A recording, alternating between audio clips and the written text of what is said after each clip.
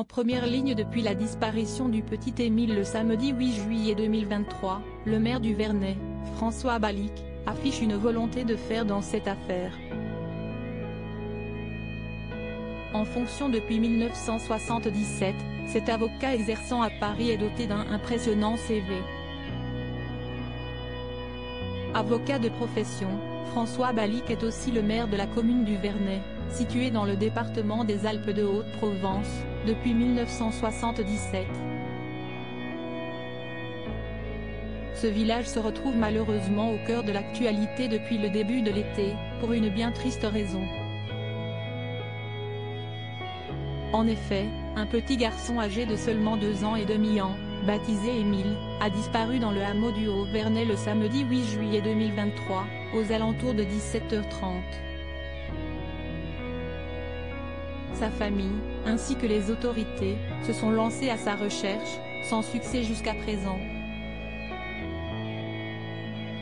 De son côté, François Balix s'est efforcé de gérer au mieux cette affaire, ainsi que ses conséquences.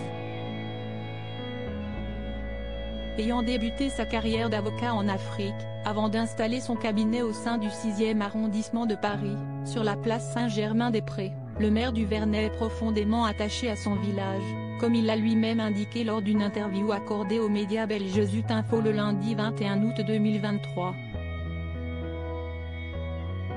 Je suis un passionné par mon village et par la République à laquelle je suis très attaché. Je suis le soldat de la République. Quand une personne au village a besoin de moi, elle sait que je suis là, a déclaré François Balic, qui n'a pas accordé beaucoup d'interviews à la presse française depuis la disparition du petit Émile. Le maire du Vernet a profité de cet entretien pour tordre le cou à certaines rumeurs ayant récemment vu le jour dans les médias. Mon village n'est pas maudit. Beaucoup de belles choses se déroulent et se dérouleront encore ici, a-t-il lancé. L'année, nous sommes 130. Là, au 15 août, avec les personnes qui ont une résidence secondaire, nous sommes 800. Le Vernet compte 300 résidences secondaires, dont 5 familles de Belges. Puis, il y a le camping tenu depuis 20 ans par des Hollandais. Nous avons donc beaucoup de touristes hollandais, a également précisé François Balic.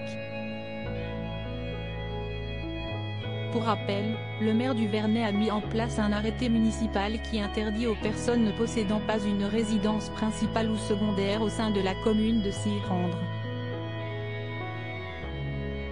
Cela ne vaut que pour le Haut-Vernet. De toute façon, si est un cul